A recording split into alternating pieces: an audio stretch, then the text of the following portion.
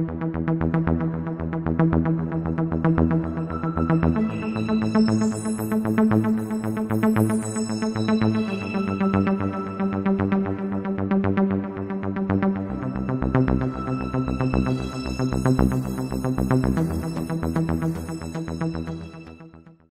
guys, Matt from Mr. Matt's Arcade here. Today I wanted to give you a preview of the upcoming update for the DX software. Um, for those of you that have a DX game board, I will be offering um, a new USB drive for sale that has the updated software, which fixes a lot of things and gives you the possibility to add a few more systems if you want. So let's take a quick look and I'll go over some of the updates.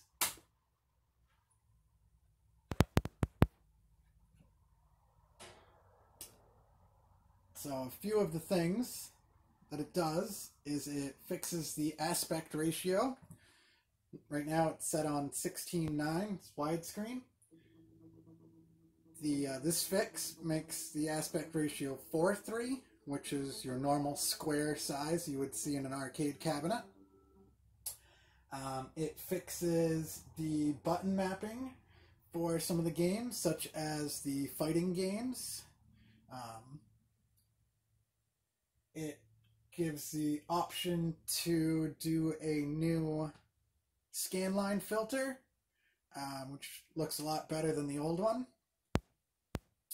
And I was able to add a loading video and a little logo up here as well. But uh, let's bring it in and I'll give you a closer look at some of the features.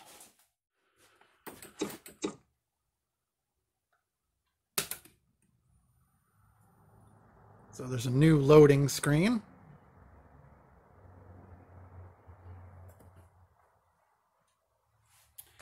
And then now if you notice, it's in 4-3 ratio versus widescreen. Some people like the widescreen because uh, it uses your entire screen, but other people don't like the fact that it can stretch out your image a little bit. So this automatically fixes the aspect ratio on the majority of the games. And then I'm not sure how visible it is right now, but this does have the new scanline filter applied. And then I'll show you that it now has the button mapping fixed. Um, first, you want to go into your settings menu and remap the buttons. So the top row is A, B, C, and the bottom row is D, E, F. Now if you look, your top row is punches, your bottom row is kicks. So that's a lot better for the fighting games where you really need those buttons in the correct order. And if you can see, you can see the little scan lines right here and all through there. And scan lines uh, try to recreate the original CRT scan lines, so it tries to make it look a little more original.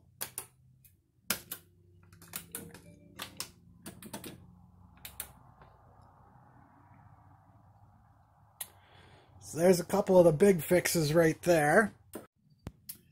And here's another feature that I forgot to talk about with the Pandory mod. Um, you can set it up so you can see the attract modes of the different games. Normally when you, in a real arcade cabinet, when you start it up, it has attract mode. It displays different things and cycles through parts of the game and whatever before you put in your quarters. Um, the regular Pandora's Box DX is set up so when you start it up, it automatically inserts quarters so it skips those screens. So here's an example.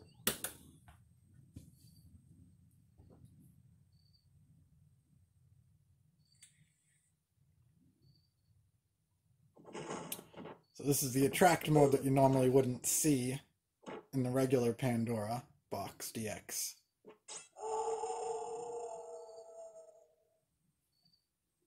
And then you still just press start to get started, and then it'll kick forward to the, the screen that you're used to seeing. So we'll show you one more.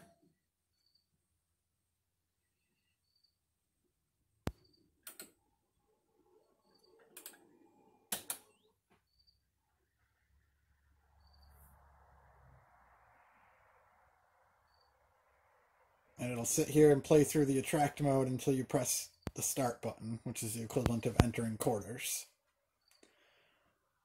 It's kind of neat, kind of brings you back to what real arcades were like, real arcade machines were like when you were in a big arcade, walking around and looking at them and stuff, and before you played.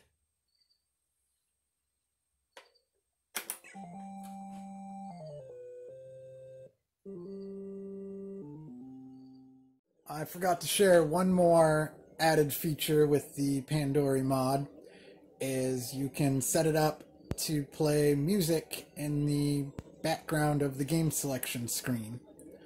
And for my arcade, I chose to put in the soundtrack called Arcade Ambience or Ambience. It's uh, part of the Ambience project that somebody put together that they tried to recreate the sounds of different years of being in an actual arcade. So this one's called 1983, and it's supposed to be um, real sounds from different arcades playing that would be playing or popular in uh, 1983. But you can set it up to play any music tracks you want in the background and you can also turn it off if you prefer not to have background music.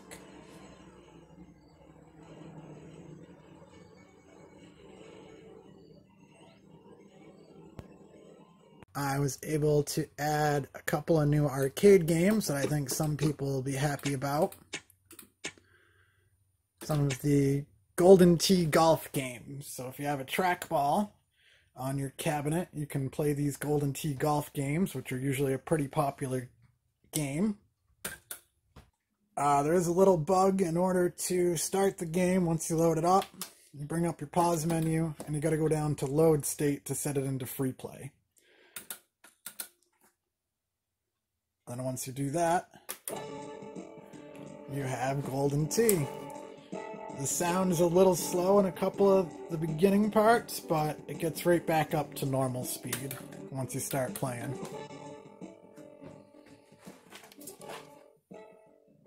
Here's my temporary trackball.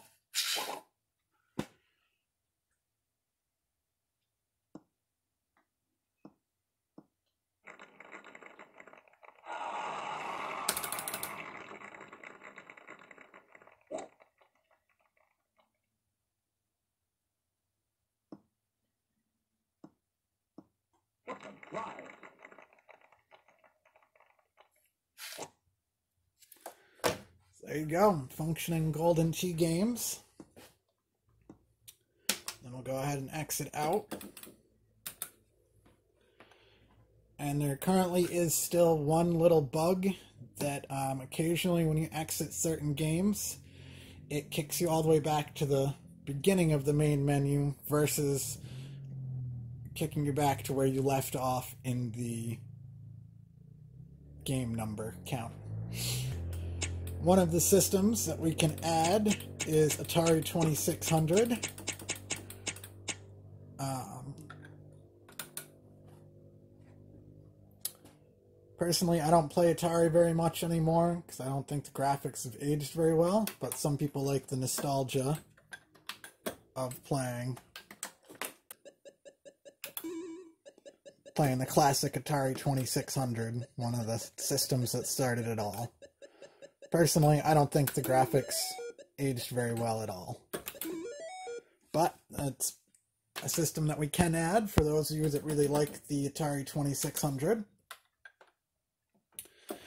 And then also, we can add some Game Boy Advanced games, regular Game Boy, Game Boy Color, and PC Engine. I'm not sure how people feel about having lots of console systems on their arcade, but with this mod, we can certainly add more system, more console systems than we could before.